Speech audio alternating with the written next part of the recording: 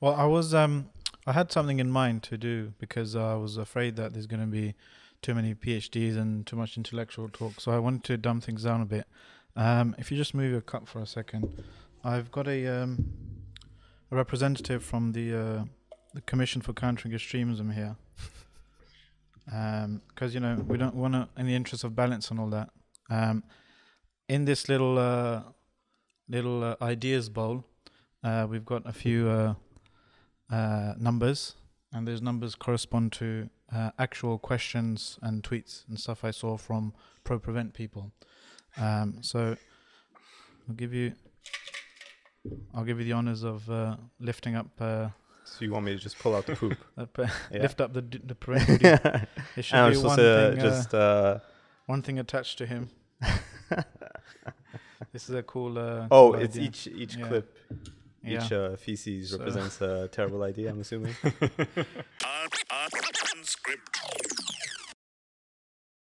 Assalamu alaikum, everyone. Welcome to today's uh, Islam Twenty Unscripted podcast. I'm your host, Salman Butt. Uh, thanks for joining us again. Just a reminder uh, if you haven't already, uh, subscribe, hit the sc- subscribe and the bell notification below if you're watching this on YouTube. Prevent has been uh, in the news a lot uh, recently, in the last week or two, our good old friend.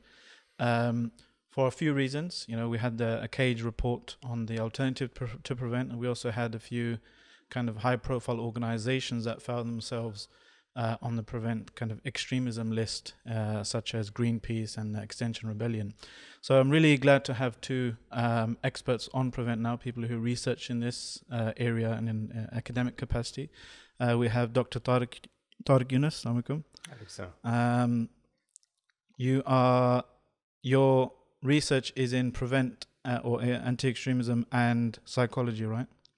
Um, my research was specifically in how counter radicalization is understood and practiced in healthcare.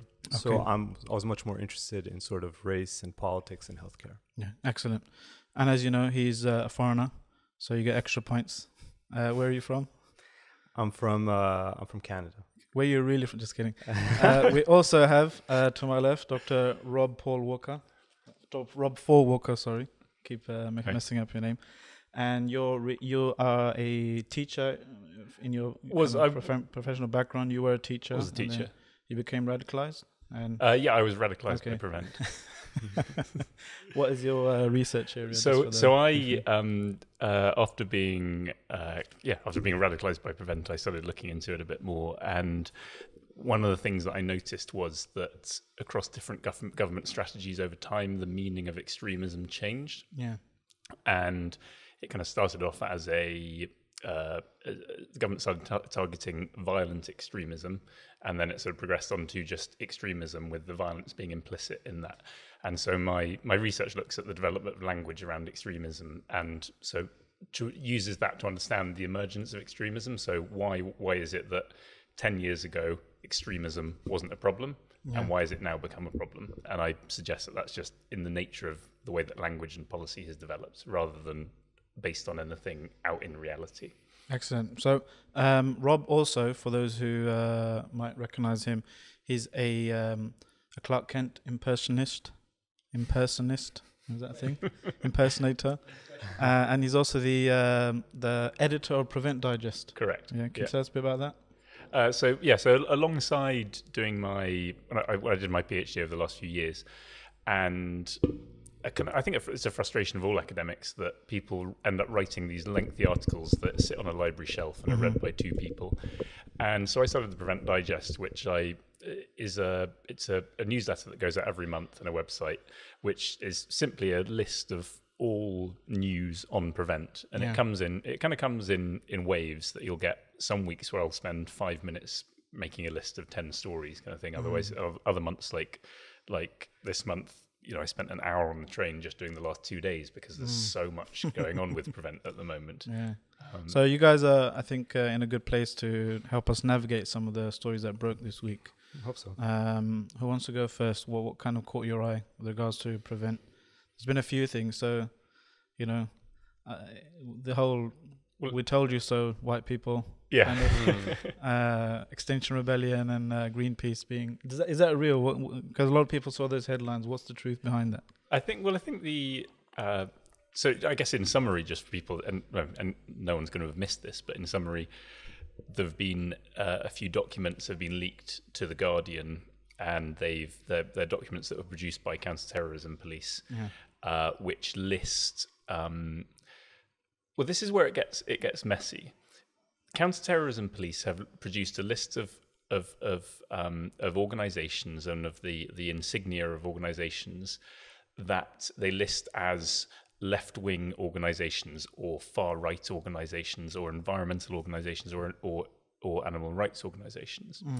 So if if the counterterrorism police are producing training material for these are the kind of organisations that we're going to come across, that implicit in that is that there's something threatening about those organisations, or there's something wrong with being a member of, the, of those organisations, or they are they represent a, some kind of extremism. I mean that that just seems to me self evident that if you produce that document as a counterterrorism police, that's what you're, you're saying.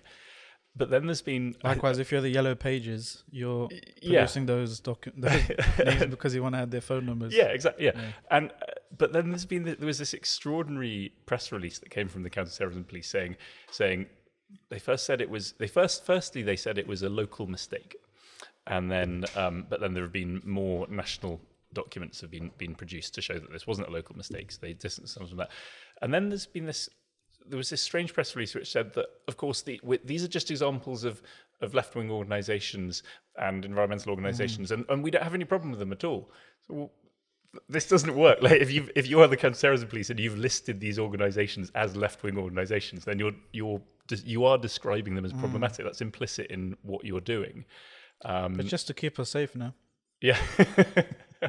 um, but but but anyway, so the, the first one that came out was Extinction Rebellion was the first story that came out that they were listed as extremist, and then it was Greenpeace. And I just I think it's worth dwelling on on one point. I think the f- from from my perspective, and I don't know if you would agree with this, but the the Extinction Rebellion, I think it was their UK Twitter hmm. account. The first um, tweet that they put out, what it absolutely foregrounded the Muslim experience of Prevent. It hmm. said Muslims have been experiencing this discrimination through Prevent for years. Now we've been targeted, which is exactly the right way around that it should be, because that wa- hmm. you know Prevent is born out of the war on terror, the war on terror on Muslims, this idea of a clash of civilizations.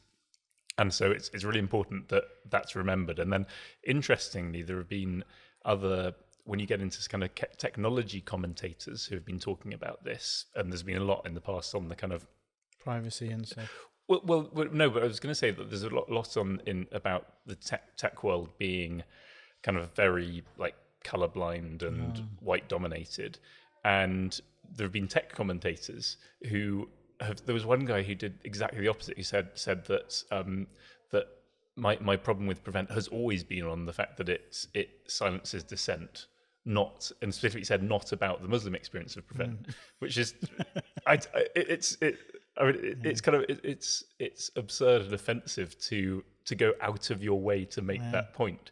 But it's it's it's weird that that that was kind of presented as a presumed position of neu- neutrality. Yeah. I think I think that like silencing Muslims is the neutral position, um, which is I mean, kind pragmatically, of that's probably how someone, do, you know, who is impacted by prevent, uh, I suppose, would think that they can get out of, get out of a uh, sticky situation. Just like, unfortunately, many Muslim organizations or individuals, they'll throw fellow Muslims under the bus. They'll Oh, I'm not like those people.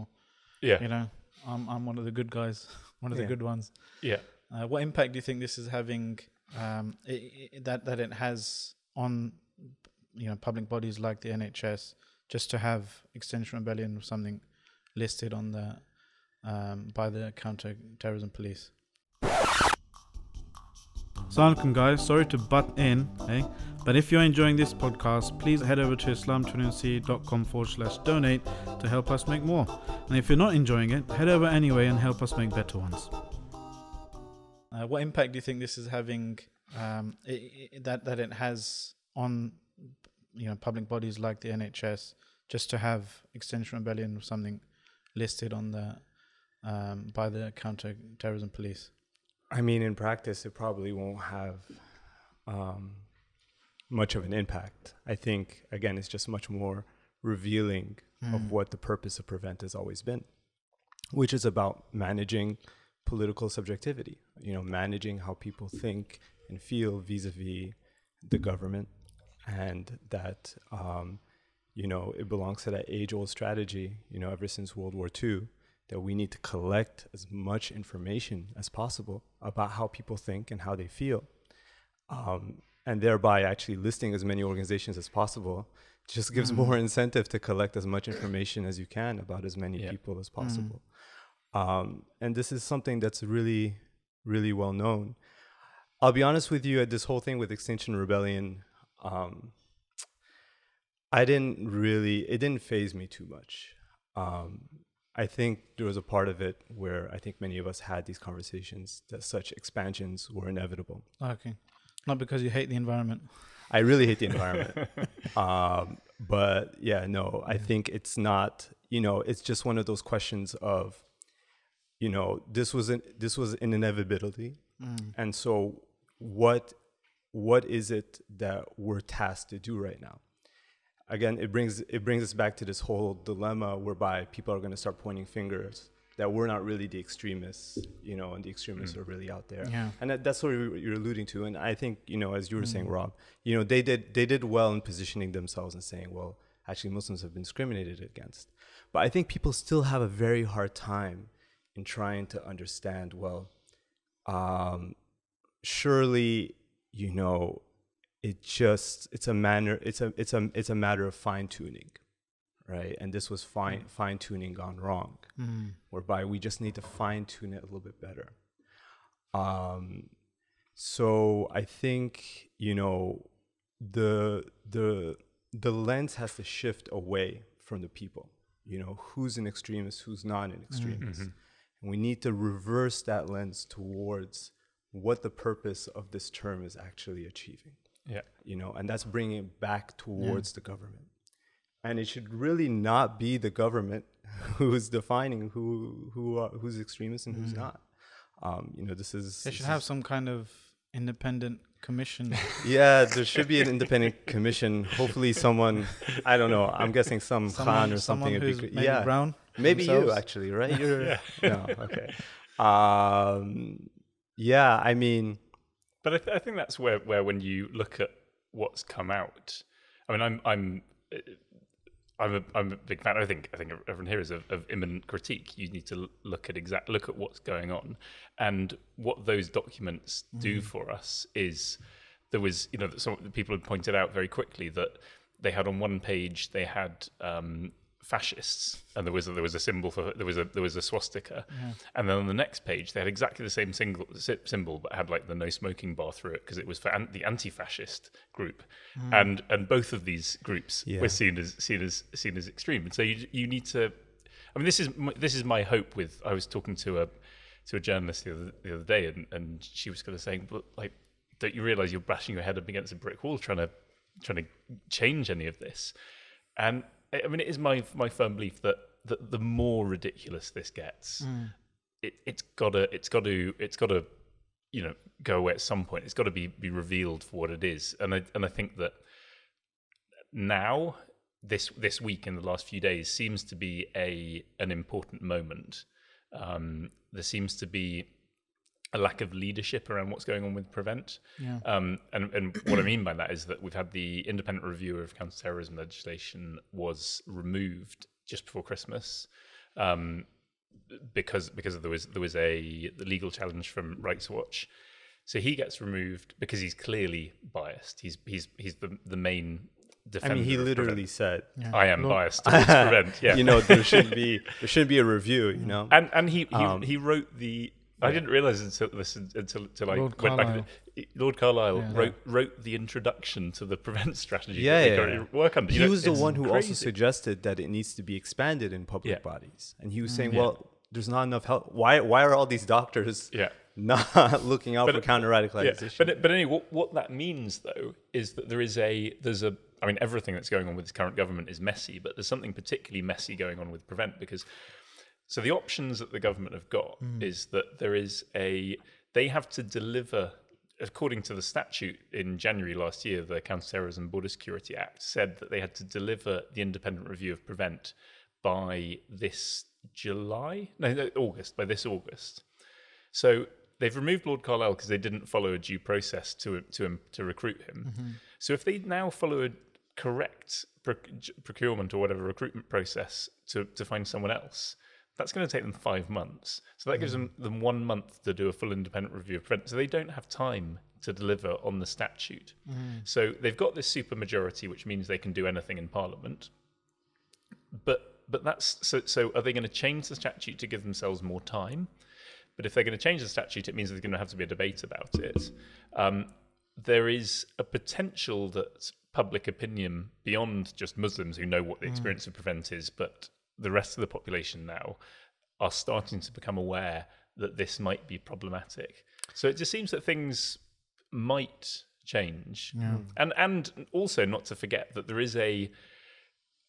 I, I don't agree with the overarching philosophy, but there's certain aspects of my politics that are aligned with the kind of the libertarian side of the, of the conservatives who are there, there are a lot of right wing people hmm. who are against prevent as well for on a libertarian ticket. So Yeah. there's I- I there's kind of lots um, moving around. In 2015, we had this campaign, um, Stop the Bill, for the CTS bill. Mm. Now CTS Act, spoiler alert, went through. uh, and uh, Peter Hitchens I was, was- yeah, really, I was gonna say um, he's- yeah, yeah. really kind of um, cooperative. He, Yeah. he he met me, recorded a video with him, you know, talking about you know the tentacles of state uh, kind of control Mhm. going into, and obviously that's his kind of political kind of angle, the libertarian. Yeah. So, um, yeah, there is a there is a there is there's a case for a broad consensus Mm. uh, against prevent, and I think largely it has become toxic over the Yeah. years. And I think um, you know initially it was the Muslim community who you know not to take credit for everyone, but uh, it's like organizations like Cage mostly, you know, Yeah. um, who are trying to you know um, change change the uh, the discourse that we, we speak about prevent uh, through. And now you see, you know, uh, you know, at universities on, on, on campus, you know, if you just do um, a show of hands with the audience, people will people will say, yeah, it's it's you know, we, we don't like it, it's rubbish, you know, young Muslims, but it's it's already had a massive, um, you know, uh, impact. So the dam- a lot of damage has been Yeah. done because a lot Yeah. of most Islamic societies, for example, are scared to invite speakers or. Or they just don't want to have the headache of jumping through all those hoops Yeah. hence the chilling kind of Yeah. effect. Um, what else have you kind of noticed in terms of over the years? How has the the the, the discourse Mm. uh, on prevent changed? I mean, I think I'll play devil's advocate here and suggest that, in fact, we're seeing more of an evolution than we're seeing its end. I think it's always been constantly evolving. And this is how the problem for, for many people, you know, if anyone's listening to this and they want to research prevent, you know, that's a terrible idea. just don't do that. In fact, you shouldn't really look at any of these policies. We need to we need to look through these policies, right? It's a discussion that we constantly have. What are these policies telling us about how the government is, you know, instituting policies, you know, the political environment, things like that. Um, but one of the main reasons we don't want to look at prevent specifically is because it's so quickly evolving and it changes so rapidly.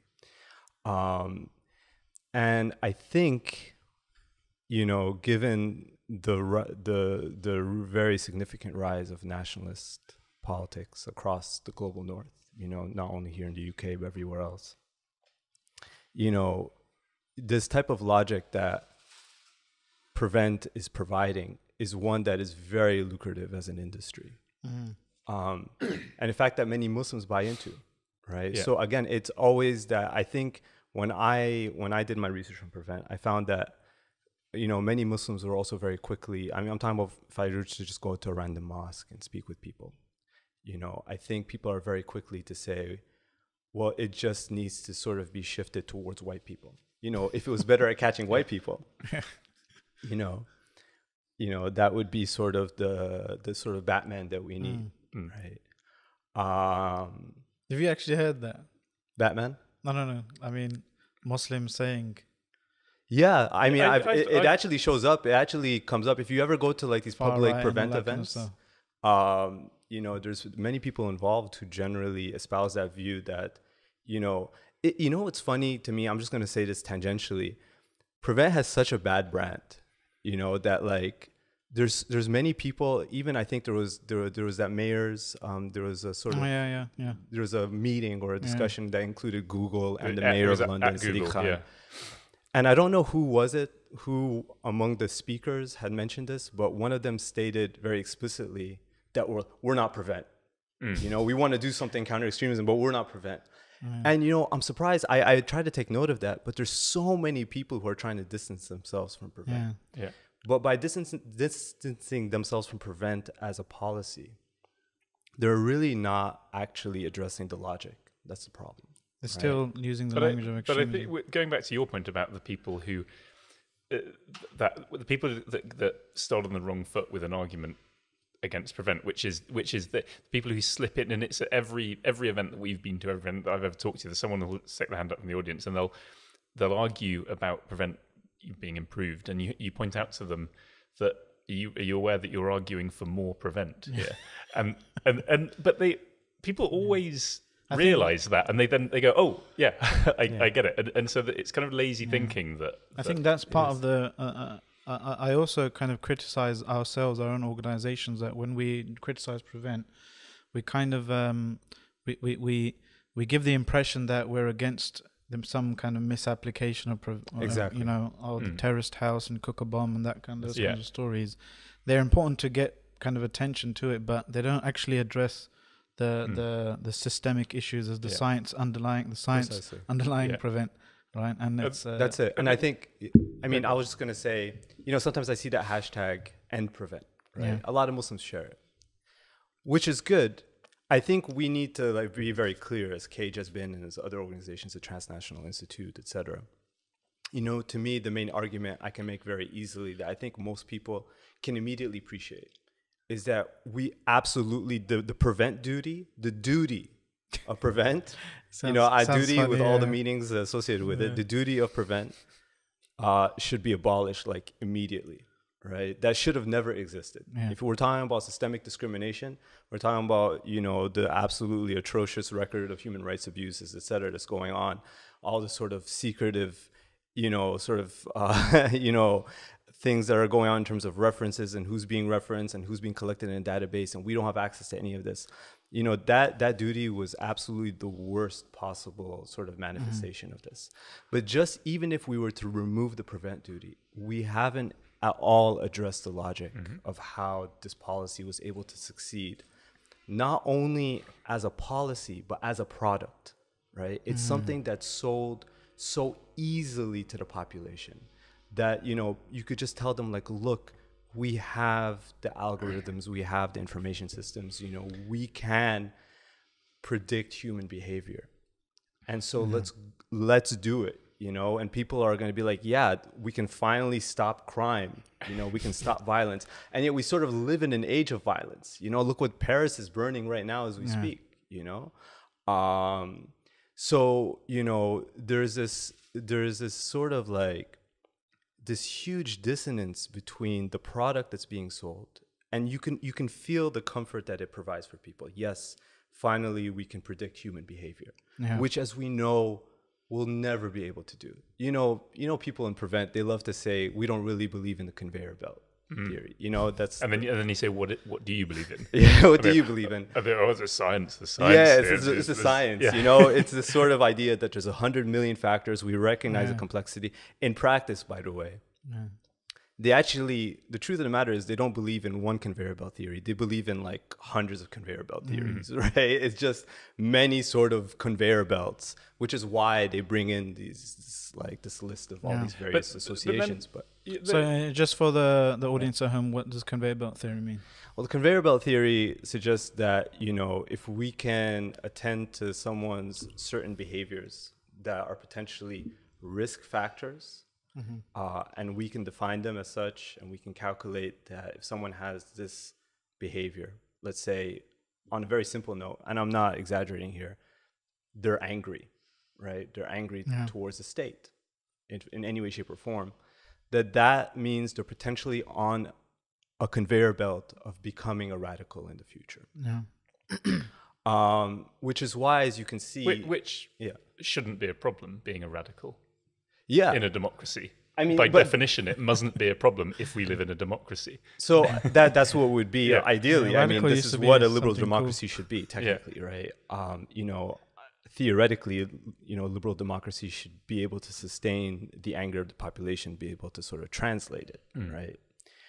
But um, you know, and we should mention, by the way, it, people in prevent they they espouse all these ideals rhetorically. You know, they're going to say, yeah, of course, we want people to be politically Yeah. radical. I just really want to mention specifically to any Muslims listening to this because I often hear, I've been to many conferences, workshops, um, and you know, speaking with higher ups, and there's this constant push towards, you know, you sort of like re retaking the language. You know, we should we should promote radicalism, Yeah, you know, yeah. or radicalization as a positive thing. Yeah, and it, that happens in at a local level in schools. They they, Yeah. they try and deliver deliver prevent by looking at radicals through history and Yeah. Okay. So it's really, Really? important. Yeah. Anyone, anyone who's not white middle class Checkmate. who's listening to this, uh, you should definitely never do that.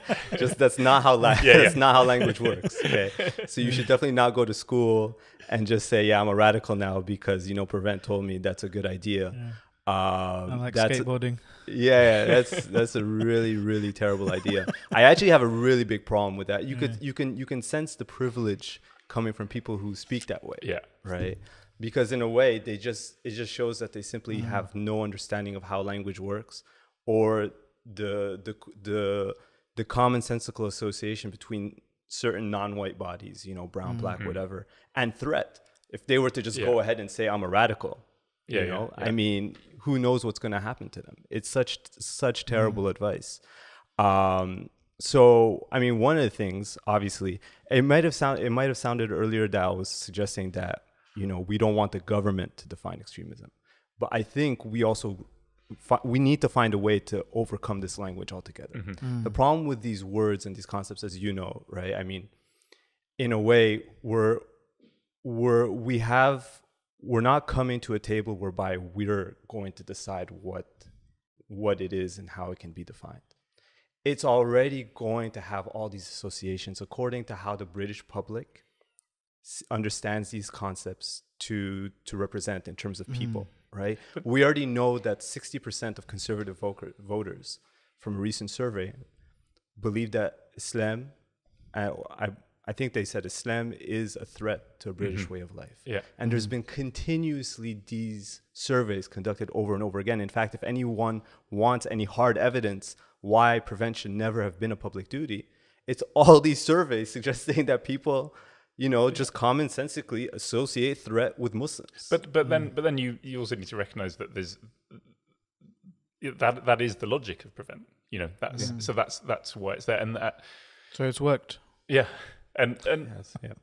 but it's but, also I want to go back to your point, Tarek, about saying how it was it was it's easy to sell this stuff. It's easy to sell this stuff now, but the you know the, the the prevent training, the WRAP training was I think it was it was floating around for seven years before it was mm. eventually taken up by schools.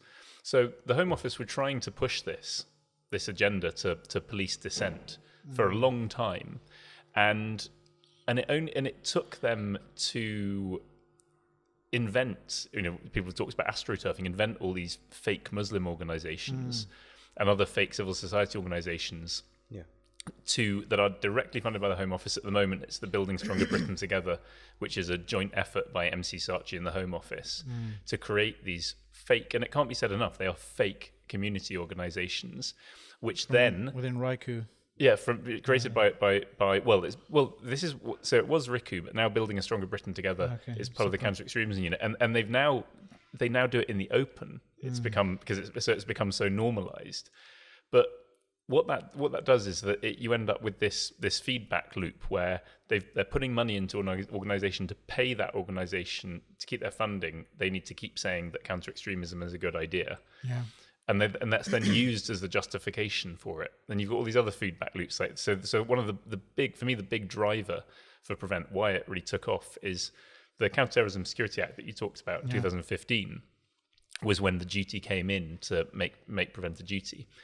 But in fact, from I was teaching down the road from here in a school down the road from here at the time, and we'd or we'd implemented prevent six months before that and we implemented prevent because off the back of the trojan horse hoax in mm-hmm. birmingham ofsted changed their inspection regime and said that to pass an inspection you have to to adopt prevent and The British values not. Uh, yeah and british values and all that so so and te- teachers head teachers they if prevent say you have to do something they do it because you lo- the head, at least the head teacher is going to lose their job if they don't do it and then, and I've had it quoted to me on a number of occasions in the Home Office and in panel discussions that prevent is wanted by head teachers. And they're, quote, they're quoting that, that all head teachers, or 90% of head teachers, have said they're happy with their implementation of prevent, which they have to say to keep their jobs.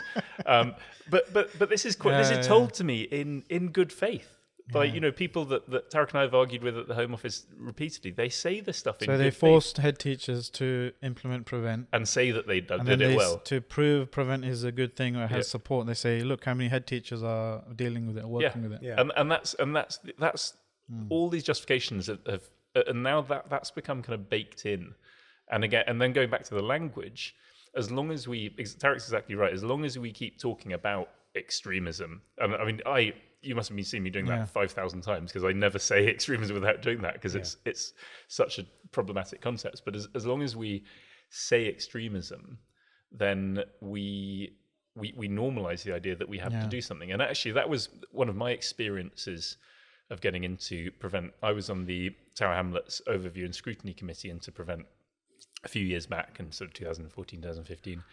And even though even back then I was a vehement critic of Prevent, but I found that every time anyone in the room started talking about extremism or radicalization, I felt myself sort of had this sort of cognitive dissonance going on where it's like something, but something has to be done about this, doesn't it? And then that was where my PhD came in to work out. So if you look at the language and you see that these these words didn't exist five years ago, then that allows you to wind the clock back and go, oh right, well if they didn't exist, then we can consider what they what they mean and that we don't necessarily need them. And if we Yeah. don't need them, we don't mm-hmm. need counter extremism. We don't need RICU. We don't need the counter extremism unit at the Home Office. Sometimes I feel that the words, although they didn't exist, you know, 10, 20 years ago, um, it feels like the, the progenitors of these words were more, you know, Paki or uh, kind of Mm. racial slurs. It, it feels that, I mean, in terms of, if you look at the the way it's been used in the discourse, especially recently in the merging with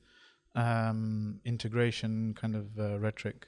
Yeah. Well, I- I'm gonna gonna. I, th- I think You know, you're you're you're one of the good ones. You're not one of the. Mm. Yeah. But, you yeah. know, I'm The not good racist, bad you know. Muslim, Yeah. like But no, I think I think that's it's definitely emer- you know emerges from just old-fashioned racism. Yeah. Um, But I th- there's there's I'll try and I'll try and explain this briefly. But something that that's come up in most research is when you look at parliamentary debates over the last hundred years, before Tony Blair's maiden speech in 2000 no sorry in 1983, the word extremist is always used by um, right-wing politicians in Parliament to describe left-wing politicians, or no, to describe left-wing voters.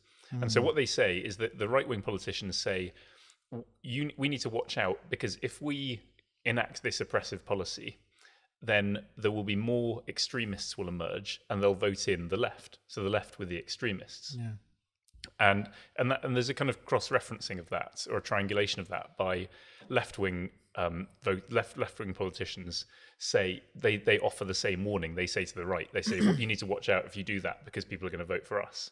And it goes one step further that there are a few a few debates where left wing politicians, after the welfare state has been formed, they celebrate the loss of Labour seats and they're celebrating because social hmm. justice has been delivered. They didn't people didn't need to vote for them anymore, so you know things were going well. And then what what Tony Blair does in his maiden speech is he starts describing extreme those extremists as a threat to his party. So he ah. that's that this is the shift to centrism. Hmm. And so I, I'm a strong believer in this in well it's it's it's a it's a it's a it's a mucky messy system and it's imperfect but the parliamentary system that we have in place at the moment does have the as long as you have the argument then you end up getting some kind of moderation out of the policy um, and so since since since extremism became a threat to the left, and don't forget it was New Labour that created the first counter extremism strategies, the first version of Prevent.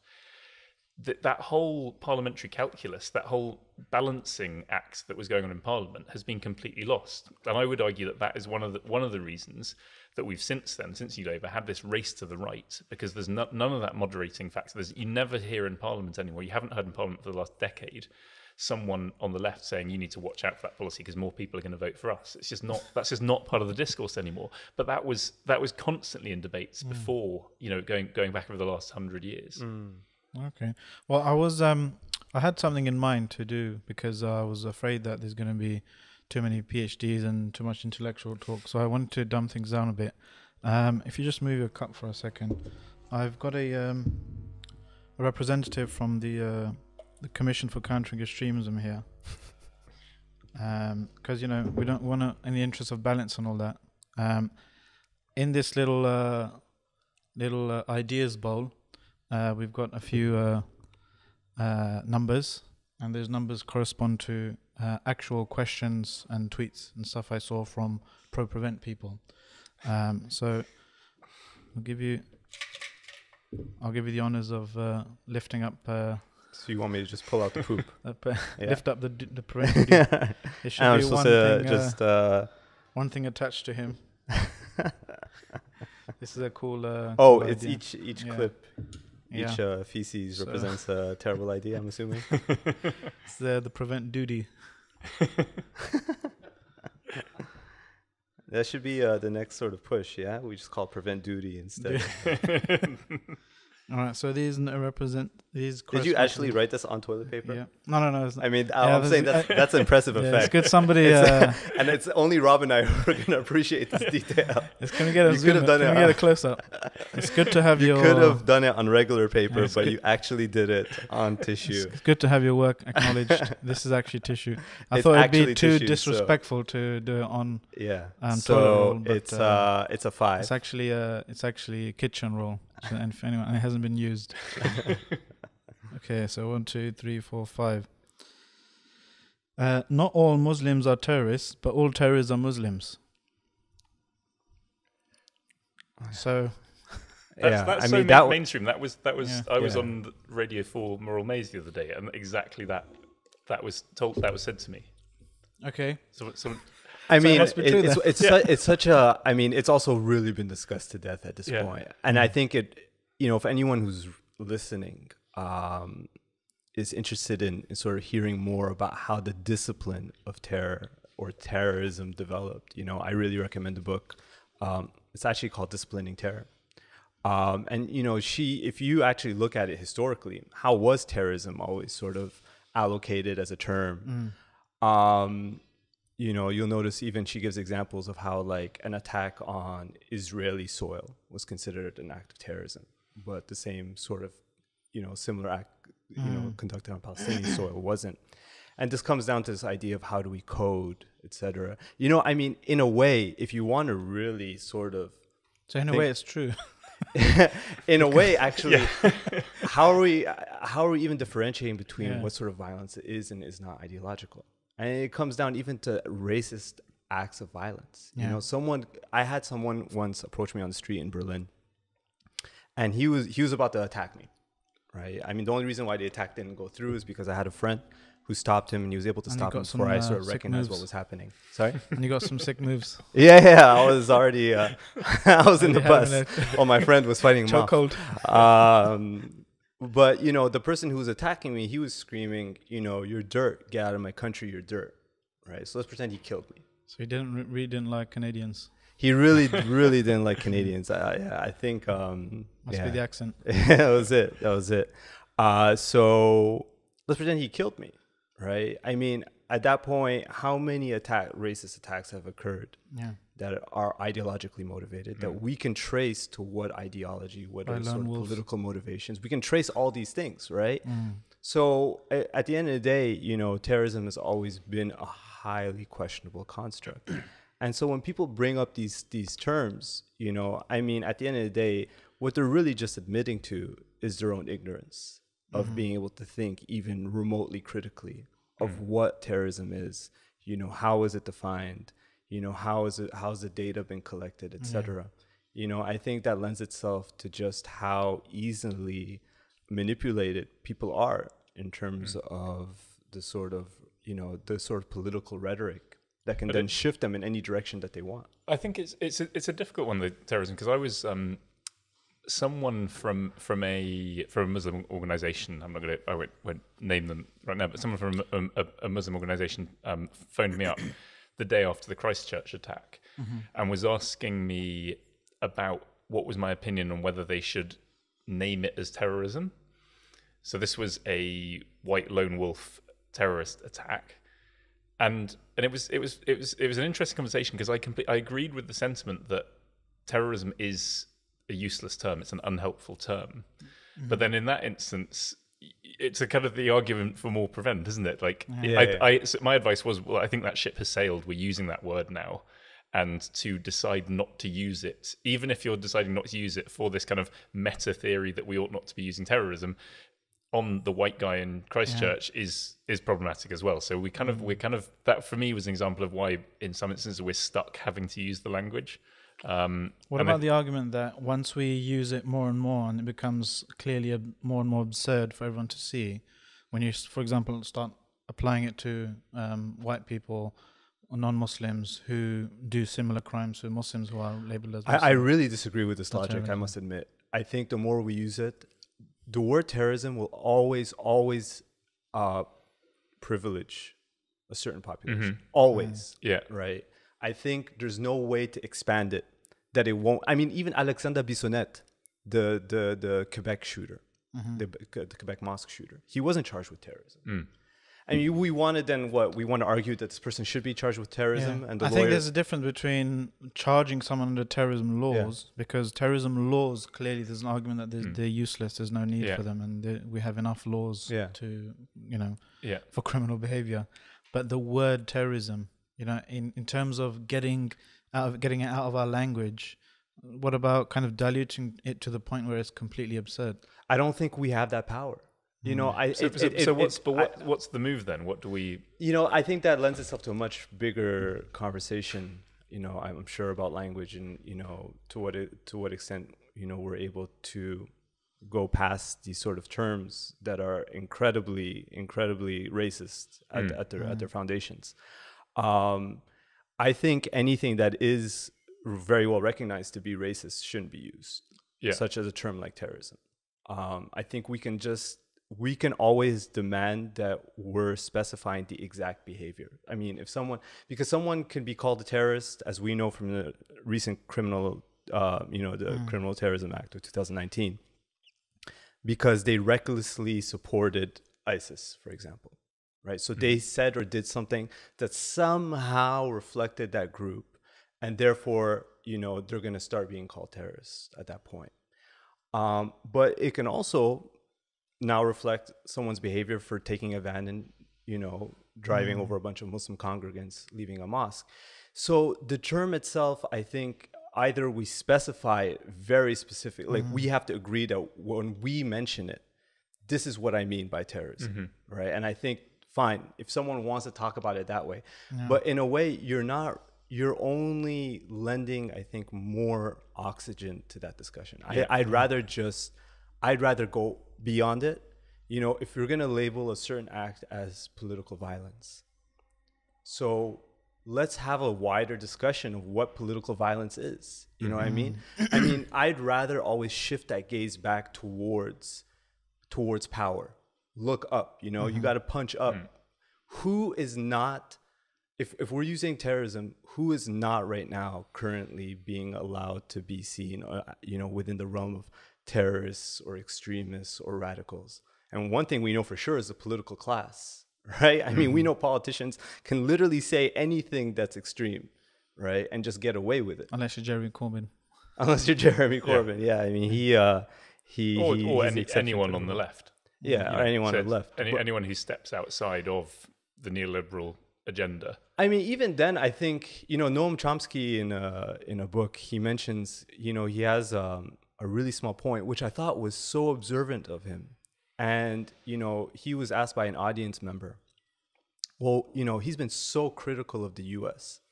So why is it that he hasn't been like shut down? Like you know, im- imagine if any one of us you know, at least any one of us were were as No as radical No, I can say what I want. as radical or as critical as Noam Chomsky has been.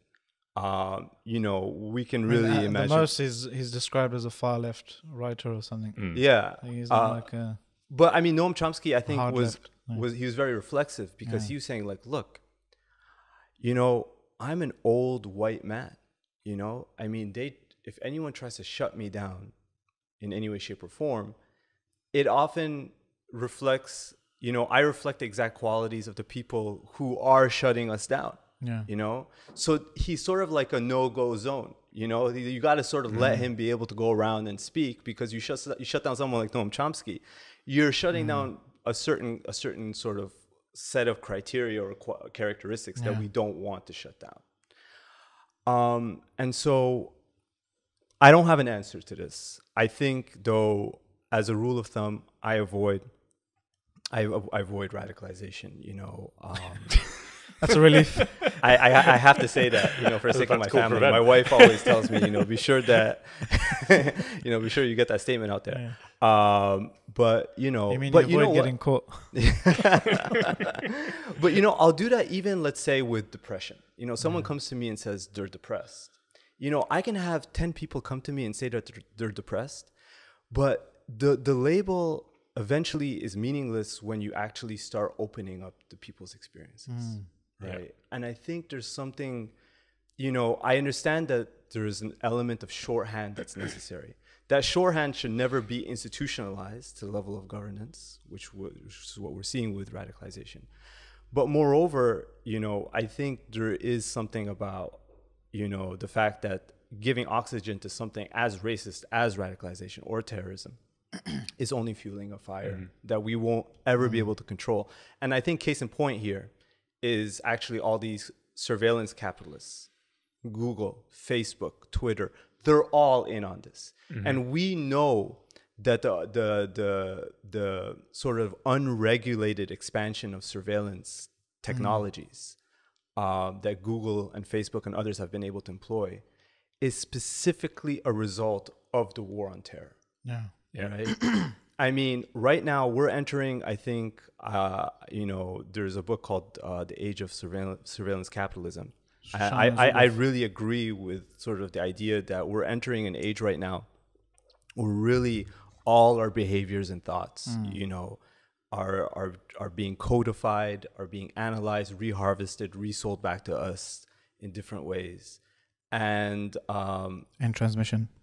and But, we that, but that's that's the Yeah. hypocrisy, isn't it? That, that the and I think it is worth talking about left and right. That the right has this this this this belief in being realists, and that's the way the world is. But then we'll use for a corporate agenda yeah. will use data to manipulate people. Mm. So it's like you you you are fixed as being a Muslim and having a certain radical agenda, but then for this corporate agenda, that's fine. We can we can alter what we want, how we want people to, people to be, and it's just this this rank hypocrisy at the heart of, of the right. Absolutely. Yeah. Okay. Okay, well, let's. Uh, Oh yeah. Sorry, you want We're to going go a through bit too intellectual poop. again. uh, your turn, Rob. Okay. By the way, do you, um, speaking of terrorism, um, do you um, use the global terrorism in uh, database? GT, Do I use it? Yeah. I mean, that person or research who and stuff? attacked me on the street would have technically Yeah. counted, you know, based on their definition. He should have been a Yeah. statistic, but he's not. Because Right. even in, in that, I mean, it's it's funded by the Department for Homeland Security, so it's not exactly some you know uh, friendly whatever Mm. you can argue. But Yeah. even that, you know, um, sometimes in my spare time, I'm kind of a boring person. Um, I just go and use the advanced search feature. Right. Okay. so uh, oh boy. so the the, uh, the the the the latest complete year they have for the UK statistics of um, attacks described as terrorism. They have a few, bit of nuance in that. Yeah. Um, so the most broad kind of all the buttons checked from um, 1st January to 31st December 2018. Do you know how many terrorist attacks there were? Either foiled or successful ones. I'm not even going to Let's try do a and guess. little. Uh, do a little. No idea. In the UK. Yeah. yeah. It's, Uh, this is Probably this is the a thing of, of it, it, the big question is is how who's who's told us how many Yeah. they've foiled? so that's Yo, you're including foils. This, Sorry, no, this I, I is didn't even catch this that is word. actually this is actually um, done by what's reported in the news. yeah, Right. it's always done by what's Yeah. reported in the Yeah. news. So it's highly problematic, yeah. but yeah. yeah. So, what is it? Uh, any guesses? No, I'm not Uh, going to it's guess. it's it's hovering around the hundred. I can't remember exactly. The year before was 103. Yeah.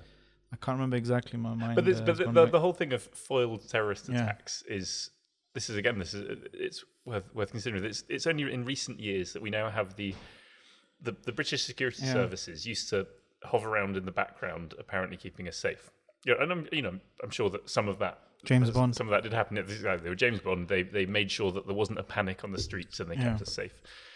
And doing as history, you know, brilliant Mm-hmm. reporters like Ian Cobain in his book, The History Thieves, have revealed that they did some really, really nasty things over the years, and they probably continue to do some really, really nasty things. Um, but they did it in the background. It's only in the last few years that we get we now get press conferences held by the head of head of the security services telling us, and we're meant to trust them, how many how many Yeah. plots have been foiled. So so they're now part of this the same agenda that those those fake civil society organisations are part of to to maintain their funding to show that they're needed, to show Yeah, they're doing yeah. important work. The security apparatus is doing this, and, and they're and it's in their interest. This is another one of those feedback loops. It's in their interest to hold a pre- press conference that I just walked in Liverpool Street, just walked past a load of a load of counterterrorism police with guns. It's in their interest to make sure that everyone is Yeah. scared because then they get more funding. Yeah. And we've got this constant feedback, That's, feedback uh, in that's the- everything. that's that's the systemic issue. That's the Yeah. systemic part of it. That's one. It's a institutional. major, major Yeah. issue. And by But the way, I think f- like that sort of future-oriented risk aversion Yeah. is something that we can we can document goes back a long time, right? Yeah. It's just right now with technology, it's been able to be it's it's been able to be streamlined, so Yeah. efficiency. So you really want you know you really want us to just dig into that poop, you know, just take it out, man. Go on. No, no, about, you gotta about, just- about the to, to complete the GTD thing, the Yeah. global terrorism Yeah. thing database. How many of those 103 foiled or successful attacks were carried out by Muslims or planned by Muslims? Take a guess. Very few. I don't know. Quarter. I mean, it Give me could be 50 percent, 50 50. I think they So like to 50. it. What do you think? twenty-five percent. Three. Three. And Okay. this is the this Right, GD, yeah. GTD. Yeah. It's not like some Muslim friendly organization Yeah, yeah. like MCB or something. They said out of the 103 odd terrorist attacks, including foiled ones, only three of them were quote unquote either Muslim extremist or jihadi inspired. They have a few names. So I just kind of went through them. So it would have been a nice collating round those. number if it wasn't for the Muslims. Yeah. Yeah. So the majority are basically um, kind of Yeah. uh, Irish, either Republicans or Unionists. or yeah, that there you go. Yeah.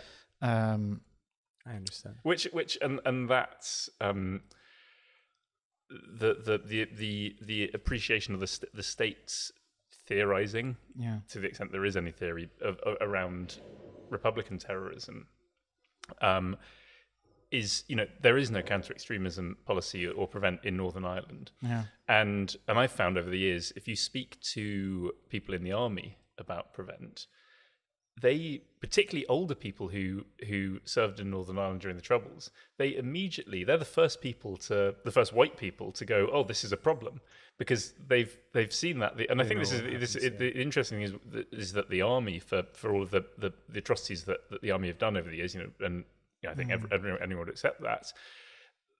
That that they have a long institutional memory so they learn stuff and they change, which is why you know if you look at the war on terror in the in the US, it's the mm. CIA, the civilian body, that does the really bad stuff because civil service changes quickly and it has a short mm. institutional memory, whereas the, the military has a has a longer longer memory. Yeah. Um, so they don't do stuff like prevent. I, I just want to add a quick point because I think I think we need to also give a sort of historical take on this, and I'm just going to do this very quickly, um, because we can I think we can talk about um, terrorism databases and all that for a long time. Fanaticism is not a new concept, right? And I, I think in a way, Yeah, well, I have my um, sh- fair share of my fans as well. Love you guys. uh, so I see you have a lot of fanatics following you. we can't say that out loud. That's what Uh, fan is short for, isn't it? Um, yeah, me I mean, Twitter, I, I, I think it's just important to mention that you know I think there's a lot of historical sort of analysis you can do of how, you know, according to different countries, how the governments would define who the fanatics are, Yeah. right? And we know we know that like Martin Luther King was considered an extremist, and I think these are sort of ideas that are um, generally understood. But I think there's a particular thing about Islam and Muslims, um, and we we we need to sort of highlight the fact. In fact, there's a really good book called um, "Fanaticism on the Use of an Idea," um, and it traces sort of a, a history of fanaticism going back to the Enlightenment. And one thing that's very Fanaticism or fanaticism? fanaticism. use which one uh, is following you? So the use of fanaticism as the a use of fanaticism as as a as, term. a as like a label. Okay. You know, you're a Right. fanatic, I'm a fanatic, who's a fanatic, right? So we know it's really ambiguous. And in fact, Mm-hmm. the the author of the book, um, Alberto Toscano, he he actually shows how certain people were calling other people fanatics, but by a different definition, they were fanatics, mm-hmm. right? But that's mm. not really the point. One of the things I think he highlights really well is that, in fact, uh, you know, throughout Western history, at least starting from the Enlightenment, that we can recognize, Islam was always the quintessential sort of fanaticism. yeah. You mm. understand? There's a history of Western civilization vis-a-vis Islam and Muslims, Yeah. vis-a-vis particularly Muslim subjectivity. Yeah. That's always had. There's always been a sort of issue. You know, to what extent we can allow, you know, Muslims to sort of, um, you know, I mean, not even allow. You know, to what extent you know, Muslim subjectivity can ever be a part of European civilization. for What do you mean Muslim subjectivity there for our audience? Well, I mean, in the sense that, you know, um, this idea. I mean, it can because your can Muslim itself- subjectivity will be different to Yeah, But I, yeah. but I think but this, this Der- Derrida takes this further and, and makes the point Yeah. repeatedly that Europe can't exist without Islam. Yeah. Without without a foreign view of Islam. Exactly. Europe doesn't exist. to define its other. Its other and, and and and you know this is why in you know in, in our living memory there's been so much there was so much debate around Turkey joining joining the EU and Yeah, Turkey sure. could never be allowed to join the EU because because the EU is a Judeo-Christian I project. Yeah. Pakistan would have a better Yeah. because of the. I'd rather be a Paki than a Turk. yeah. The, the Turk has been uh, the quintessential kind of uh, other for for the the Englishman. Yeah, yeah. Yeah. history with that. and Germany as well. Yeah. That mm-hmm. discussion. I mean, back when I was in school, that was that was really salient. But I think it's just this idea that you know the sort of that that sort of fanaticism mm. is inherent to Islam, and that that that's a very long-standing belief. That's mm. very sort of indigenous here, so to mm-hmm. speak. Um, and so, as much as like all these databases are, I think, trying to, you know, objectify it and try to sort of like, okay, we're gonna see more more broadly. I think in a way, it take these they they end up taking a very ahistorical and sort of Yeah. acontextual sort of approach to these things. You know what I mean? Assalamualaikum guys, me again, reminding you to head over to islam21c.com forward slash donate to keep the lights on on Islam21c. We pride ourselves on being independent and being funded by the grassroots community. Speaking of fanatics, uh, I think I'm a bit of a Quaker Street coffee and bubble tea fanatic now. Uh, this Assam tea is very nice. I asked them to put, not put the bubbles in because it's kind of weird. Then But, it's uh, not a bubble tea. It's just a tea. it's a bubble tea minus the bubbles. Uh, that's uh, Tea with that's, the that's straw. like Yeah. blasphemy area for me, man. All right, back to the uh, pro prevent person. There you Okay. go. So I take out a Yeah. poo paper clip. That actually sticks to his butt, huh? Yeah, Yeah. it's a magnet. That's man. You gave It's a lot ch- of uh, magnet. you gave a lot of good thought to this. yeah. Right. I am. okay. According to Salman's dirty toilet paper, it is number 11. Ah, okay. So the uh, prevent uh, is not all that bad because 95% of prevent referrals don't lead to any action, according to the Home Office's own statistics. So there. um, so, yeah. So this is referring to the prevent. it, it, uh, what, it, what, Office what, what, statistics. that, what that statement does, and it's, yeah, that's, I mean, that's thrown out constantly. And what that statement does is completely ignore the experience of prevent. And, the, and by that, by the experience of it's the, ex, the experience of being surveilled, the experience of being looked upon, even the experience of a GP, a psychiatrist, a teacher, being becoming an informant, and what that does to those professional relationships with with with pupils, with with patients, whoever. Um, and it, yeah, it just completely ignores it, and and it's it's it's it's kind of an extraordinary thing to say because the it goes going hand in hand with that is what you're not speaking about and what you're you're purposefully silencing or ignoring is the chilling effects of prevent. And the chilling effects of prevent has been accepted by numerous professional organizations, unions, by What does the chilling effect so mean? the chill, chilling effect is is whereby um, children in in, in schools, uh, uh, patients in doctors' surgeries I'll say I don't want to. I just won't speak about. don't want to talk about stuff openly. And I- and I'll, I'll I'll put a I'll give you specific examples of that. And this is this is one of the things that dragged dragged me into shouting about prevent is that from being a being a teacher in a secondary school for um, so I was teaching in a secondary school for well in a couple of secondary schools for about twelve years, and early on, so going back to the early two thousands, I would What? not You look like 20 years old. um, Mashallah. It's the Clark Kent of it. yeah, uh, not not not regularly, but I did have conversations with Muslim kids who talked to me about wanting to travel to Afghanistan and take part in in some some form some acts of violence. Um, and every single Back time, then, everyone was. yeah.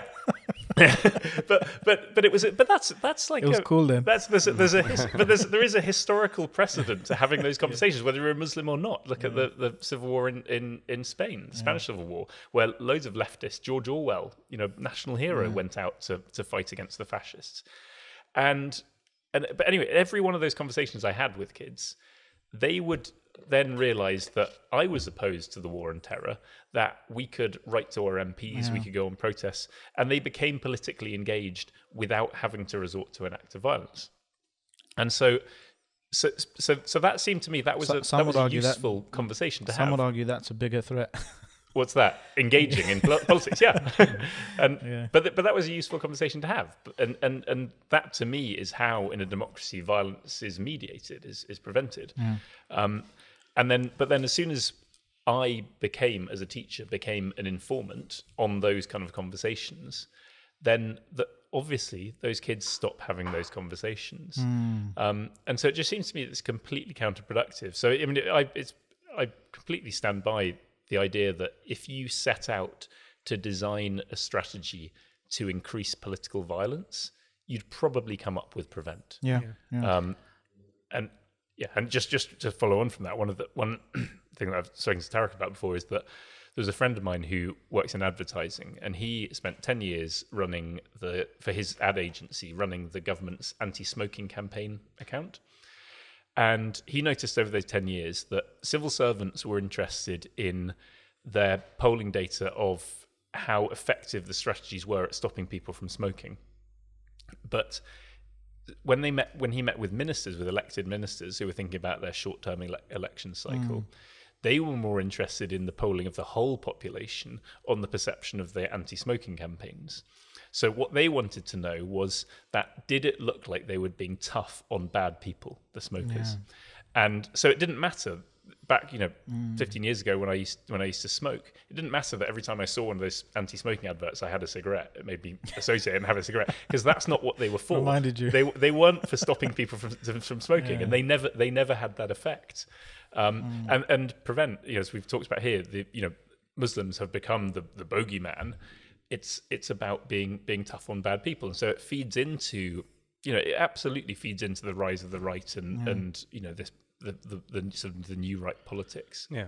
I mean, my uh, my barrister Paul Bowen. Um, yeah, when we before we went into court for the judicial review against Prevent, he Mm. said to me, and I was just kind of asking, what do you, what do you think this is all about? He said, governments don't make policy based on research and science. They make policies based on being seen to be doing something. Yeah, Mm. So I think that's the issue. I mean, we because we're we're we're talking about prevent now and it affects us. we look at that, but like you said, smoking, environment, all kinds of stuff. There's a huge delay between the lab bench Mhm. and, and knowledge production and actual policy. And I think everyone, anyone who's involved in anything critical, anything kind of, uh, you know, science or research oriented, the, all of those people get, get annoyed at the Yeah. government and government policy, all, all, all a host of things. Yeah. Um, you know about the the ninety five percent statistic though. I was Mm. actually curious that, um, because they say ninety five percent of prevent referrals in for kids lead to no further action. I was just wondering what percentage you'd get if you randomly and blindly just Yeah. Stop people in the street. Mm. What percentage of human beings are criminals? Or or or, or, or dis- display Display- display, yeah. indicators based Yeah. on some pseu- pseudoscientific logic that could be used to suggest that they might be future criminals. Yeah. because I suspect it would be far less than ninety five percent. So Yeah. the prevent kind of apparatus would have But- but the- would have the, the, the statistic itself yeah. is absolutely meaningless. You can't compare it. There's no there's no there's no standard to compare it to, Mm. right? What is what is a good? I think the Statistic. control would be They're they're, they're are you more it. are you more successful at catching people on a pathway to some kind of crime if you just randomly Mm. stop someone walking the street or But- coming out of the but yeah, yeah, but where e- even even then, how how how would you even quantify that? I mean, Yeah, the whole absolutely. point is that the reason why they're selling that 95% is because it's a good looking number. Yeah. You know, most people will just read it and be like, "Wow, 95% of people are innocent." You know, like this can't be a bad policy. You know, it's just showing that it's, It's just effect- showing it's how good effective- everyone is. It's effective at mm. proving people's innocence. That's what they're trying to say, and there's such a large number of it. But it's an effectively meaningless number Yeah. because we don't know anything about it. I mean, just to really harp on that point, you know, let's pretend it was somewhat, you know, proving that something was effective. It's not capturing the, the full effect, right? I mean, I, I, I, I, I often bring up the, the, the metaphor of a mayor poisoning a city, right? And, you know, he's doing it to catch all the rats. I just made it. I should have mentioned the rats first because there's a mayor poisoning a city. It doesn't make any sense. Quickly. Just like, I should just stop at that, huh? The mayor poisoning a city and just move on to the next point. Um, so a mayor wants to stop, you know, he wants to catch rats and he's gonna poison a city. And you know, he catches the rats. Let's pretend he does. But Yeah. people, a lot of people get sick, right? So, you know, what Prevent is setting out to achieve is not the only Yeah. qualifying standard, right? Mm. The whole, the, the, total dissolution or destruction of Muslim civil society can be considered a different factor Yeah. of Prevent, you know? And how are we going to mm. quantify that? There's an element of the fact that it has to be quantifiable, 95%, mm. you know? I I don't want to dig into the sort of intellectual history of mm-hmm. why that's the case. It has to be a number that people can that can people can understand, but also that the government so you can can put, take. make a bar chart. Yeah. really. yeah, But- yeah, but- but exactly. I've, I- I've it's, been, it's very I've been important. having this argument with, But- with I've, I've had it with you with Yeah. you before as well. Of since I think I first it first came up in 2013 was getting involved in conversations with people who were arguing for the Home Office to release the prevent statistics. That's been like an ongoing discussion, hasn't it? And then there was great celebration. Was it what 18 months ago when they first released the mm. statistics? And I've actually always argued that we shouldn't be asking for statistics. We know what's wrong with prevent. We don't need to see any of these numbers. And, and and all it does is it, it sits here. It, we we sit here talking about the numbers. Um, I mean, thankfully, we haven't been dragged into talk, talk, talking about what you know, trying to read the statistics. But there's so much energy spent. Well, there was so much energy trying to get the statistics out of the Home Office. So all of that activist energy went into that, and then the statistics come out. So what? And then there's then there's there's dissection of the statistics. People have written books about the statistics.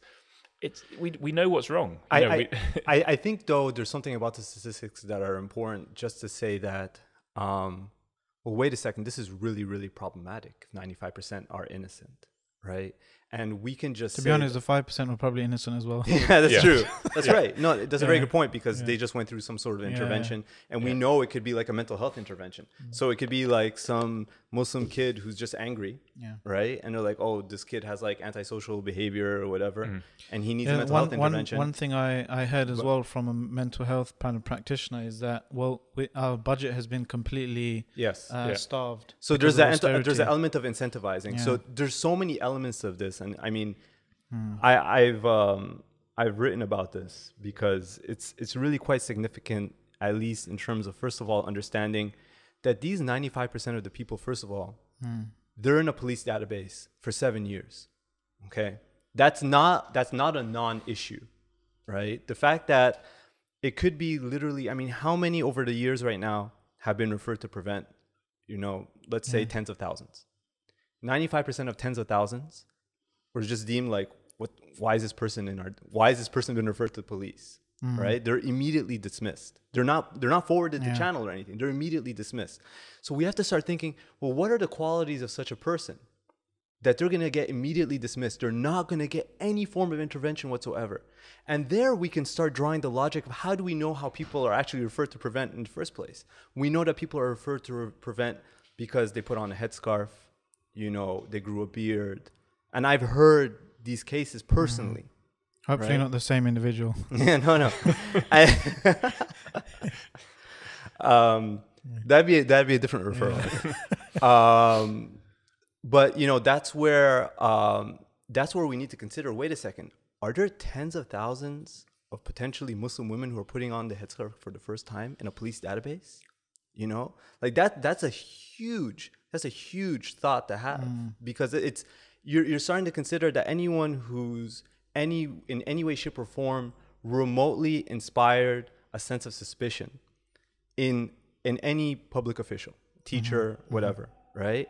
And then it was forwarded a safeguarding lead. That safeguarding lead is what stops a, perf- a person from becoming a statistic. But if that safeguarding lead is like, yeah, I think growing a beard is is problematic.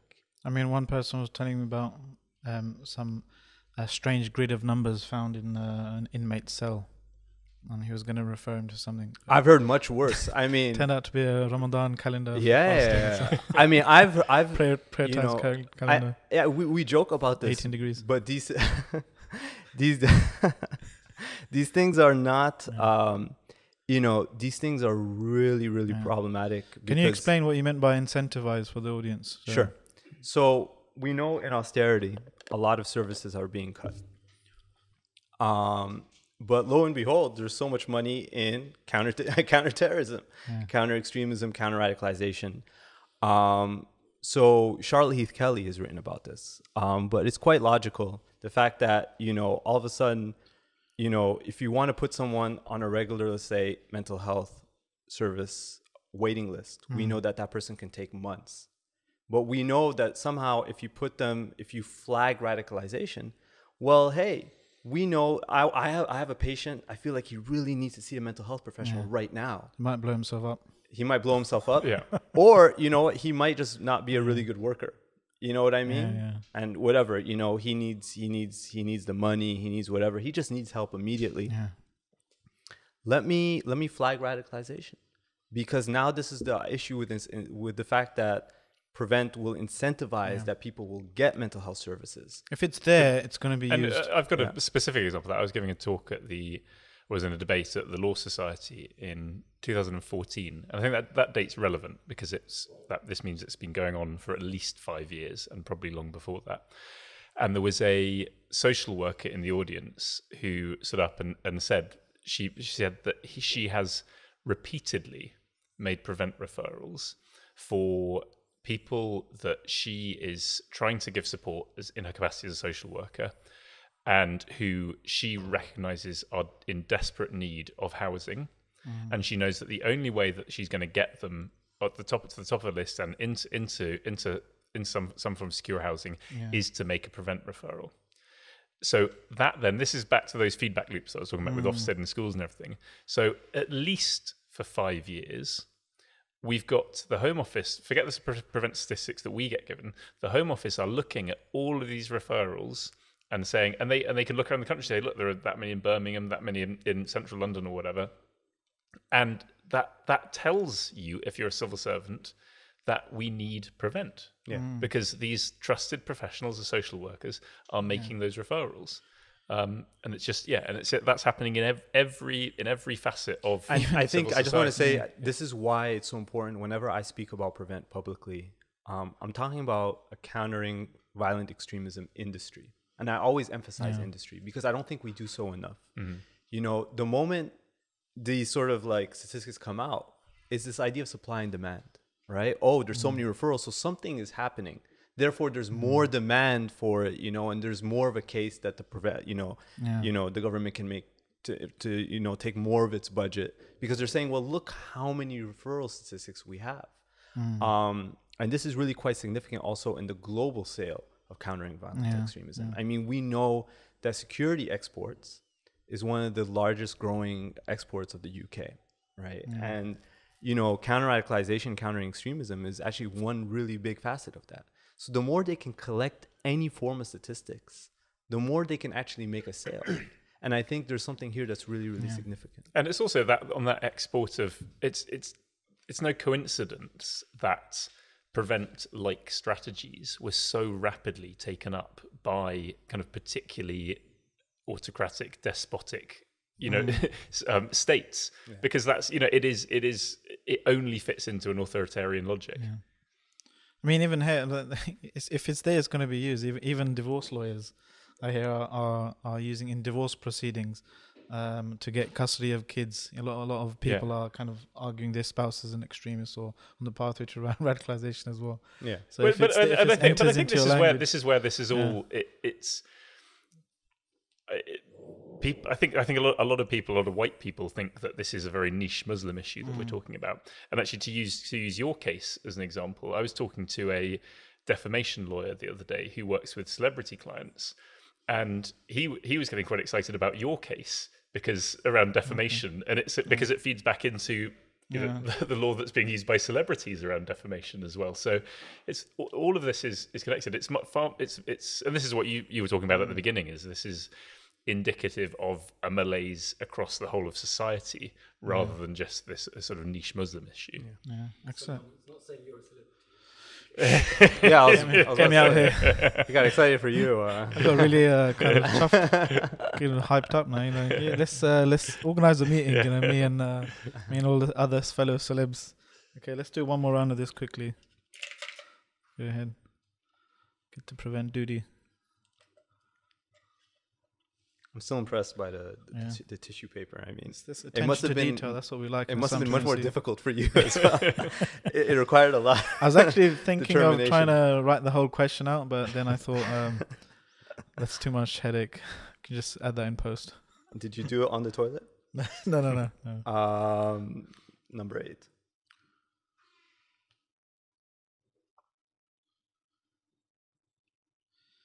Uh, okay, this is probably relevant to you.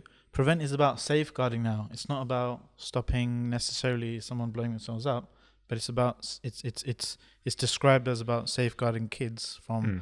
grooming, from all kinds of you know uh, harm. So Yeah. it's good, right? Safeguarding is good. Why do you pre- hate kids? prevent prevent is is is a, is a prime example of bureaucratization and bureaucratization rem- distancing us from a problem. And what I mean by that, very specifically in in schools, when I first started teaching, there was so there there are certain CPD, continual professional development, that mm-hmm. all teachers have to do. Same with doctors, same with lawyers, same with all professions. And as teachers, you have to do a certain amount of CPD every year. The, the first point of CPD used to be in every single school used to be at the beginning of every year you'd get um, it's in the in the inset day which is that the first normally the first day of, of, of, of september where, day. where parents get really frustrated because they, they haven't worked out they haven't worked out childcare until that one day and they suddenly realize that school hasn't really started that day and, and it- that's when teachers are sitting in, in their cpd and the first thing that was always t- that was always told to you was that you'd get someone would stand up at the front and they'd say, I'm the child protection lead. If you have any suspicions about any child, you come to me, you need to talk to me. I'm the single point of contact. That's it. So, th- so there wasn't. That was the extent of the bureaucracy. There were no hmm. forms or anything. You just had to talk to that person, and that is a. It's it, in it, in its simplicity and in its lack of bureaucracy. That was a that was a very good system. You're So still you go getting up to them and like, think, I think little Jimmy's a bit of an idiot. yeah, Gonna get Um, himself. but you know, but and and and you do get Is get that coming from experience? yeah yeah. I feel like that was hyper. Damn, Jimmy. Um, but but but then then so now now when it comes to safeguarding first of all you've got to do your prevent training which is taking over the other professional development that you might have it's, it's, it's taking up hours of, of the teacher's training time but it also creates these these questions about because no one can sit through prevent training. So either you sit through prevent training and you are a dyed in the wool racist, and you and you nod your head and think great, yeah, and then you report the first kid who asks who who talks to you about about going to prayer at lunchtime, Yeah. um, or you you think, oh, this is this is a bit dodgy. What am I meant to do? And and there's been this whole- this whole bureaucracy. So now to to to, to triage, it, lots of schools have done to triage, prevent, and safeguarding issues. They'll have the same form, but it's a different color. So you fill in one form, and that's the way they try and sort of say it's still safeguarding. But whatever way it's cut, you've ended up creating this bureaucracy, which now has forms to fill in to give to the different person. There's a different person who's the prevent lead, a different person who's a safeguarding lead, and and it's just simply not safeguarding. And from the example that I gave you before about having conversations with kids around political agendas, it's it's not making any anyone less less safe less safe. It's not it's not even making anyone more safe. Um, besides which, any referrals, any genuine concerns, they happen without prevent anyway. And and go, going out outside of schools now, the prime example of that is the Manchester bomber Salman Abedi, who, it's my understanding that he's referred five times by his mosque to the counterterrorism police. Referrals that that they've said they would have made without prevent in place anyway, because they were genuinely concerned about this guy and what he what he was going to do, quite rightly. Mm. But and we now know from the prevent statistics that the counterterrorism police had a spreadsheet with seven thousand referrals on it that year, and they didn't. They're they're under resourced because of austerity, and they didn't get to them. Yeah. They didn't get to those five referrals. So that is a, a prime example that prevent the existence of prevent has prevented the t- the police from doing their work, which you know. Stopping an actual crime. sto- and stopping an actual cri- actual crime because of prevent because of those mm. those referrals that have been solicited by Prefe- prevent and referrals that would have happened anyway Assalamu alaikum guys, last reminder I promise. Head over to islam21c.com forward slash donate to help this movement get to the next level. So we have genuine, high quality media articulating Islam in the 21st century and developing confident Muslims impacting the world for the better. Yes, of course. There is- Stopping an actual crime. And stopping an actual cri- actual crime because of prevent because of those those referrals that have been solicited by prevent and referrals that would have happened anyway I mean, One of the quotes is, "Oh, you're always c- complaining about prevent. Um, what's the alternative? What do you suggest? You know, Mm. to keep us safe from terrorism?" And Yeah. one of the things is stop doing prevent yeah exactly stop doing prevent because it's counter. It's actively counterproductive. I think that's something we need to keep Mm. repeating because, you know, the racist in the street, he's not going to agree with all that intellectual stuff about, you know, um, structural racism and, and, and uh, Islamophobia and all that kind of stuff. But what he is going to agree with is if it's actually making me less safe, then you yeah know, but also Yeah. also going going back to the the racist in the street the not to Make it- make it- offend any street enthusiasts. no, not to offend all the racists on the street. yeah but but but this this this also that that idea of the chilling effect as well is having having taught in London schools you also come across white racist kids and and I want to have the conversation with them. I want them in the classroom in a safe environment to say something that is that we can then thrash out and we can get we can kind of we can unpick and diffuse that, Beat 'em that up tension. later. Yeah. Um, with your words. I mean, there's no doubt that like you know any any government you know structured management of subject like political subjectivity in any way, shape, or form, political experience, any management of that is always going to backfire. Like there's no doubt about that. You know, um, and in a way, that's exactly what Prevent is doing. I mean, the idea of safeguarding itself was also just ridiculous. It, it was something that just came up to them later, and they're like, ah, okay, it seems like this was should have been safeguarding all along. You know, because it's gone in in phases. it's gone in phases, and it's one of those preventing it- it- violent extremism, then Exactly. non-violence, then British values, Some British Yeah, values, yeah, and fundamental it's- values. well, I mean, all these things are always and they're always coexisting as well. And the, and the last right? the last iteration of that is worth pointing out. It was safeguarding, and then mm. and you can see it in kind of waves on Twitter of all the CVE workers. Yeah. And the last the last one, which is I think has been quite effective, is is going after white racists, going after the Yeah. far right, and then and then saying, "So look, we're not racist." yeah, And that that was definitely. I mean, there that- was there was a move there. To, that that would have been a good. out. I think that would have been a much better question than uh, poop number eight. um, that is I- one of I the think- questions actually.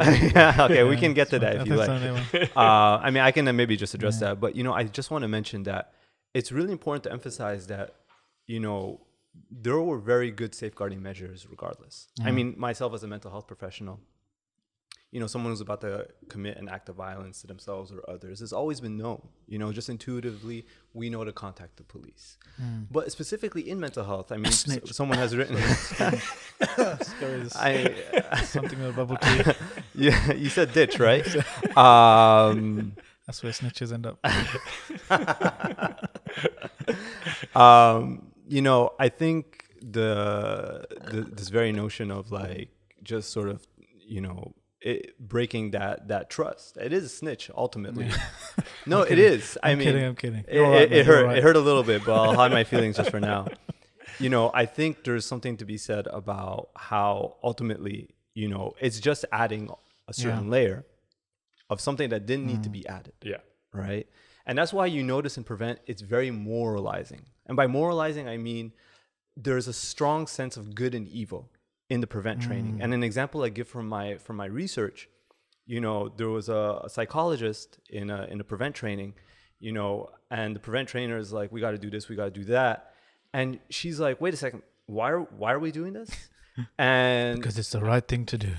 precisely someone turned someone turned to her and said you know very very sharply said we're just trying to save lives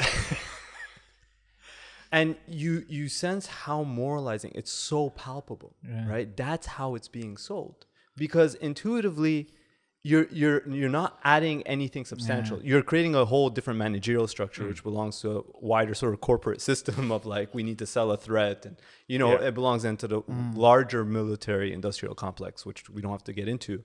But just on, on, on like the point of safeguarding, most people in healthcare at least are like, this is really awkwardly in safeguarding. And that's what Charlotte Heath Kelly found out in Yeah. her in her survey, mm-hmm. right? Of like NHS professionals. They're like, actually prevent is not really doing or adding anything besides this added layer which doesn't really make any sense.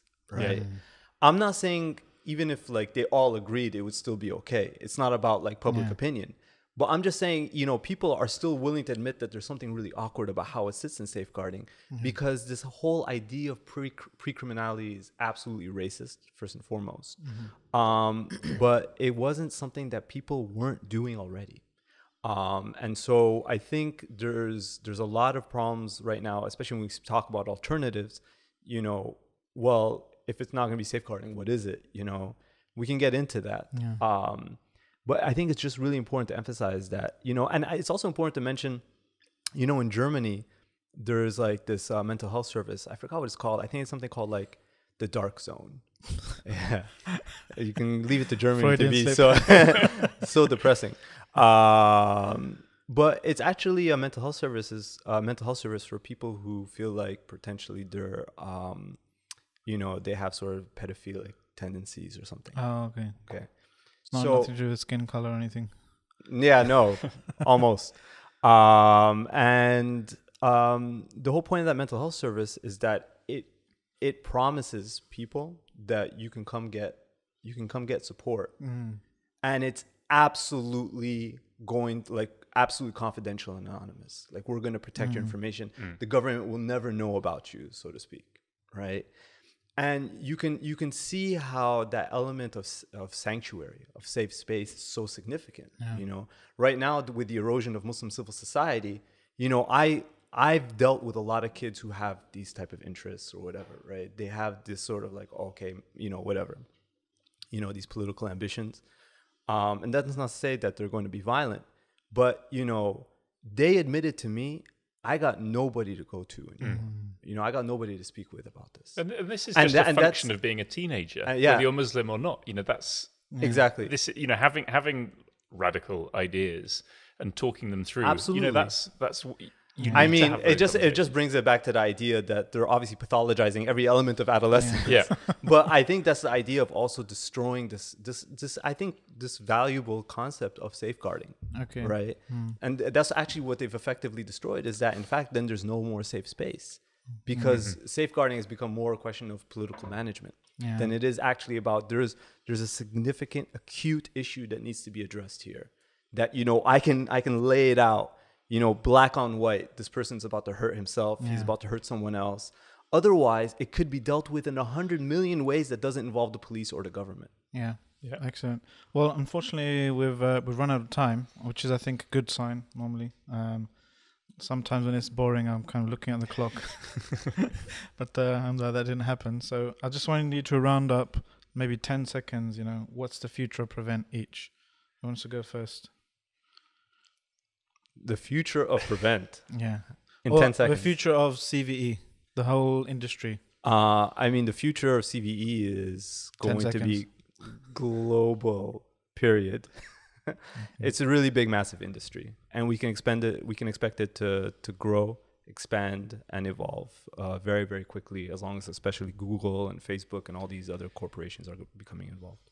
Yeah, I, I think that's Come on, cheer That's, us up. that's I, I think I think I think Tarek's right to that. That's the direction of travel, but I also think like it, it, it our, our lives are contingent on for me our lives are contingent on us demanding and expecting something more utopian.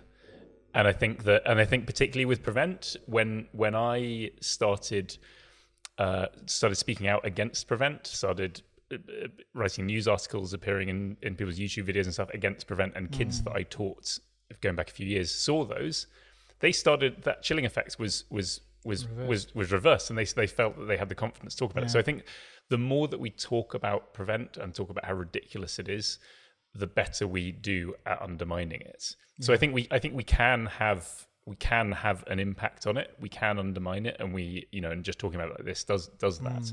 So so you're you're right Tarek and it, it is it is it is expanding with through surveillance capitalism etc etc etc but we we can we can undermine it we can keep we know we can we can keep having these conversations and we can make it better Inshallah. Inshallah. inshallah Okay, thanks for uh, watching at home as well. Uh, I've been your host, Salman Bhatt. This has been Dr. Tarek Younis and Dr. Rob Faure Walker.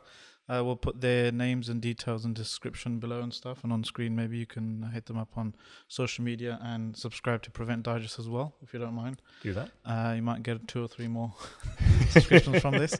Uh, if you watched and made it to the end of this video, or this podcast, congratulations again, you're awesome. I did read uh, the names of the people who wrote their names in the comments below who reached the end of the last podcast. Shall I read them out? Should we? I'll give them. Should we? Should we read them out? It's No, not, I'm not not, reading it's them not, out. not Let's put, let's put their names on. Two people. Is it just different iterations of Salman Yeah, Butt? Different Bellman, handsome Sut. devils. Yeah. I will maybe put their names in the description or on the screen just to give you guys a boost. So if you did reach the end of this podcast, uh, congratulations for being awesome. Uh, just a reminder again to subscribe, hit the bell notification so you get uh, notified for future podcasts and videos and stuff, and subscribe to us wherever you find your podcasts. Uh, other than that, thank you very much. Assalamu alaikum. Unscripted.